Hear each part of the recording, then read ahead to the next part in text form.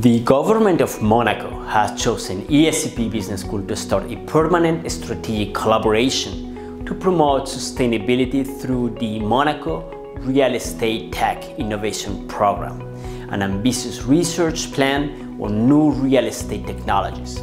The official announcement was made by Prince Albert II of Monaco in November 2019 under the leadership of Frédéric Genta, Country Chief Digital Officer of the Principality of Monaco, and myself, Jaime Luque, Director of this program.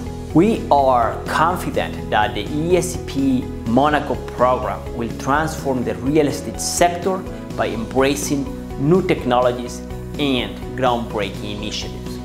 But what is PropTech? PropTech, also called real estate tech, is short for property technology. The term refers to the software, tools, platforms, apps, websites, and other digital solutions employed by real estate practitioners, from brokers and appraisers to architects and construction managers. PropTech improves efficiency and facilitates real estate activities, including buying, selling, leasing, managing, appraising, financing, marketing, developing, designing, building, and investing. Why is PropTech relevant? Because it brings the real estate sector into a new digital era of more efficient and sustainable practice. We are all real estate consumers that will be directly or indirectly affected by the changes to the industry inspired by the surge in the number and the quality of prop tech. We should all be aware of and understand the current wave of prop tech as it concerns every single one of us. It changes and will continue to change how we make serious decisions. It is playing a crucial part in the global digital revolution in which we live and shall continue doing so for years to come. What is the PropTech Annual Barometer? It is in an in-depth analysis of the international PropTech sector.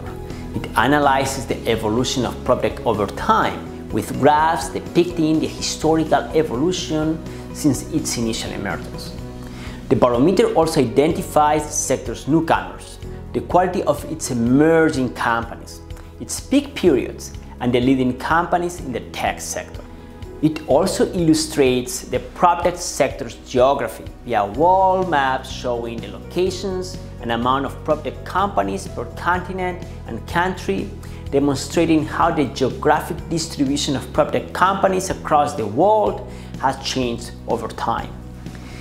The barometer classifies all PropTech companies into different business categories and identifies the companies with the highest valuations per category allowing us to compare the composition of the categories in different countries and better understand the market dynamics. Finally, it analyzes the evolution of PropTech investments over time by identifying which countries, companies, and categories attract the most funding and who are the top global investors in the PropTech sector. At ESCP, we are proud to collaborate with the government of Monaco on an important challenge of bringing the real estate sector into a new era of more responsible, sustainable, and environmentally friendly practice. Initiatives such as the PropTech Annual Barometer position Monaco and ESCP Business School at the forefront of innovation in real estate.